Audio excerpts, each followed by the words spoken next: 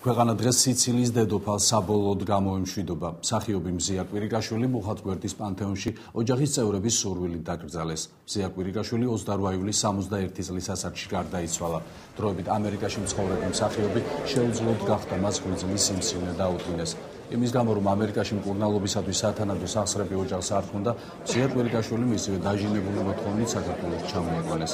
ზია კვირიკაშვილი 30 წლის განმავლობაში მოღვაწეობდა სცენაზე. იყო პროექტ იუმორინას ერთ-ერთი მთავარი მონაწილე და თანაავტორი. დღესაც ხალხმა შეიტყო და გაიგო რომ ზია კვირიკაშვილი გარდაიცვალა. ესეთი ესეთი შეფასება მისცეს ამ მოვლენას თითქოს ძალიან ახლობელი ადამიანი წავიდა. პირნათლად და ღია გულით ბოლომდე ემსახურებოდა თავის მაყურებელს. სიხარულს ჩუქნიდა. და ამ სიხარულისათვის მაყურებელმა თავისი გულის ტკივილი გამოხატა. ძალიან დამძიმებულები ვართ.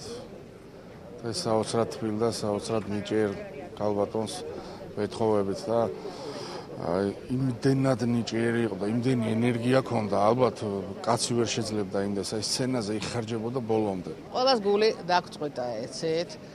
ეს იყო არ ვიცით აი მოჭარბებული მართლა ეგეთი ტალანტი იცით აი მზია ჯერ სცენაზე რო გამოდია და ჩვენ ძალიან ხშირად იცით გასტროლებზე ერთად დავდიოდით იცით აი ჯერ გამოსული არ არის მზია სცენაზე და გამოვიდა.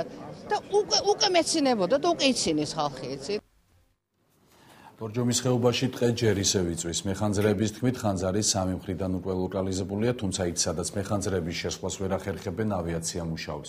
ბორჯომის ტყეებში ცეცხლს 160 მეხანძრი აქრობს. წინასარი მონაცემები დაიწვა 10 ჰექტარი ფართობით, თუმცა არ არის გამორიცხული ხანძრის სრულად ჩაქრობის შემდეგ ეს ციფრი გაიზარდოს. ხანძრის გამომწვევი მიზეზები ჯერჯერობით უცნობია, სავარაუდოდ ცეცხლი მაღალმა ტემპერატურამ გამოიწვია. ბორჯომის ხეობაში ხანძარი გუშინ გაჩნდა, რაც მოსახლეობისთვის საფრთხეს არ წარმოადგენს. დღეიდან გაეროს უშიშროების საბჭოს რუსეთი უხელმძღვანელებს მხოლოდ ერთი თვით. ამის შესახებ რუსული საინფორმაციო სააგენტოები იუწყებიან. ნიგერის წარმომადგენელს ჯოი ოგბუს აღნიშნულ თანამდებობაზე რუსეთის დელეგაციის ხელმძღვანელი ვიტალი ჩურკინი შეცვლის. ხვალ ჩურკინი უშიშროების საბჭოს წევრ კოლეგებთან შეხვედრებს გამართავს, რომლის პარლამენტშიც უახლოესი თვის სამოქმედო გეგმა შეიმუშავებენ.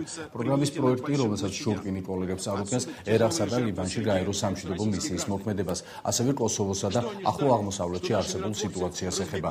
გაეროს უშიშროების საბჭო 15 წევრისგან შედგება, რომელთა შორის ხუთი მუდმივი წევრია რუსეთი, ამერიკა, ჩინეთი, საფრანგეთი, დიდი ბრიტანეთი. დანარჩენ 10 წევრს გაეროს გენერალური ასამბლეა ორი წლის ვადით ირჩევს. ყოველწლიურად ხუთი მათგანი შეცვლა ხორციელდება.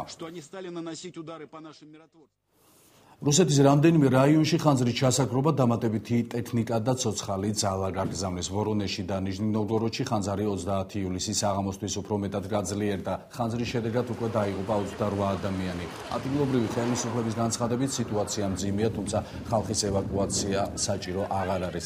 ხანძრის შედეგად რუსეთის 15 საცხოვრებელი რაიონი დაზარალდა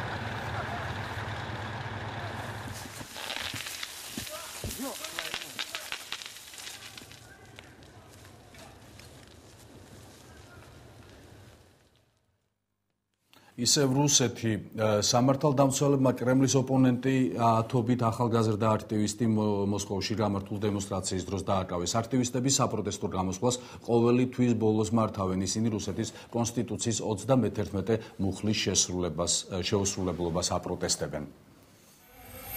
რუსეთში სამართალდამცველებმა კრემლის ოპონენტი ათობით ახალგაზრდა აქტივისტი მოსკოვში გამართული დემონსტრაციის დროს დააკავეს. აქტივისტები საპროტესტო გამოსვლას ყოველი თვის ბოლოს მართავენ. ისინი რუსეთის კონსტიტუციის 31 მუხლის შეუსრულებლობას აპროტესტებენ. თითქოს შეკრებების თავისუფლებას მოითხოვენ. მოსკოვის მოედანზე შაბათ-დილიდან ასობით ადამიანი შეიკრიბა. აქტივისტების ძირითადი ლოზუნგი თავისუფლება იყო. ქალაქის ხელმძღვანელები მათი გამოსვლის აკრძალვას შეეცადნენ.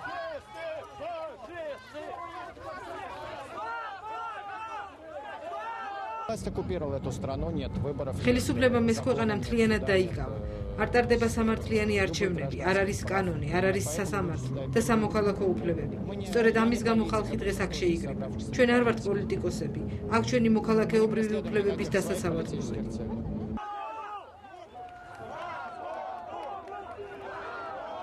დაკავებულებს შორის იყო კრემლის კრიტიკოსი ბორის ნემცოვიც, რომელიც სამართალდამცველებმა მანქანაში ჩასვეს და წაიყვანეს. ნემცოვთან ერთად კიდევ სამი აქტივისტიც დააკავეს. პოლიციის წარმომადგენლის განცხადებით, მისთვის უცნობია თუ რამდენი ადამიანია დაკავებული. თუმცა როგორც ადამიანის უფლებათა დამცველი, ლევ პონომაროვი აცხადებს, სულ 30 აქტივისტია დაკავებული.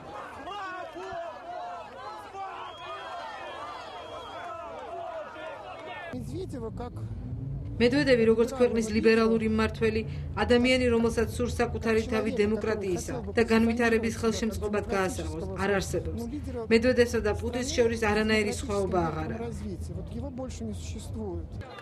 სამართალდამცველებმა ალყა იმ დემონსტრანტებს შემოარტყეს, რომელთაც ხელში პლაკატები 31 რიცხვის გამოსახულებით ეჭირათ, რაც მათი მოძრაობის ერთგვარი სიმბოლოა. საპროტესტო აქციას ამ სახელწოდებითა და მიზნით კრემლის ოპონენტი აქტივისტები ყოველი თვის 31 რიცხვში ატარებენ.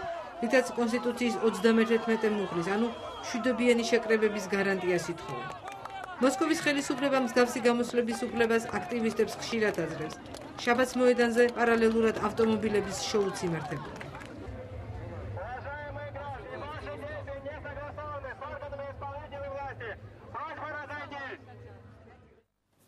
უკრაინაში კი ოპოზიციური აქტივისტები კიევის რკინიგზის სადგურზე შეიკრიბნენ, სადაც უკრაინის ახალ ხელისუფლებასა და მის პოლიტიკურ კურსს აპროტესტებდნენ.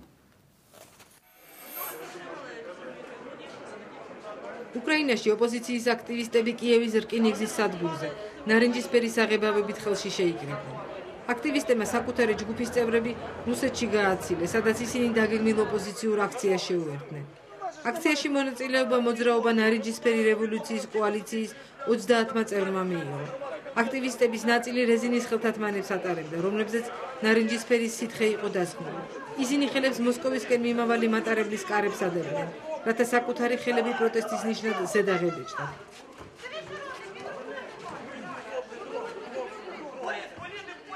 აქტივისტებმა მატარებელს ნარინჯისფერი ზონარებიც მოაბეს. ნარინჯისფერი უკრაინაში 2004 წელს რევოლუციის პროდასავლურმა ლიდერებმა გამოიყენეს. თუმცა ნარინჯისფერთა მთავრობის ხელმძღვანელი იულია ტიმოშენკო მიმდინარე წელს უკრაინაში ჩატარებული საპრეზიდენტო არჩევნების შემდეგ რადას მიღმა აღმოჩნდა. პრეზიდენტის პოსტი ვიქტორ იანუკოვიჩმა დაიკავა, რომელიც პრორუსულ ლიდერად მოიაზრება. მოძრაობის ლიდერმა სერგეი მელინჩენკომ ჟურნალისტებთან საუბარში განაცხადა, რომ ისინი უკრაინის ახალ ხელისუფლებასა და ახალ პოლიტიკურ კურსს აპროტესტებენ, რომელიც მისი თქმით სულ უფრო და უფრო ძალადობრივი ხდება. მელინჩენკოს თქმით აქტივისტებს სურდათ რუსეთის ოპოზიციური აქტივისტების მიმართ თანადგომაც გამოეხატა. ჩვენ დღეს აქ იმისთვის შევიკრიბეთ, რომ რუს მეგობრებს სოლიდარობა გამოვუცხადოთ. ისინი ყოველი თვის 31 რიცხვში რუსეთის ხელისუფლების მიმართ პროტესტს გამოხატავენ. აქ მოსვლა იმიტომ გადავწყვიტეთ, რომ უკრაინის ახალი ხელისუფლებაც დღითიდღე რუსეთის ფედერაციის მთავრობის მსგავსი ხდება. სამი დემონსტრანტი კიევის რკინიგზის სადგურზე სამართალდამცველებმა დააკავეს. როგორც ხედავთ, მათ საღებავი აქვს და მატარებელზე მისი დასხმა სურდა. სწორედ ამიტომ გამოვიყენეთ ზომები და ისინი მატარებელს მოვაშორეთ. კრემლის ოპონენტები ყოველთვის 31 რიცხვში რუსეთის კონსტიტუციის 31 მუხლს აპროტესტებენ, რაც მშვიდობიანი შეკრებების უფლებას ითვალისწინებს.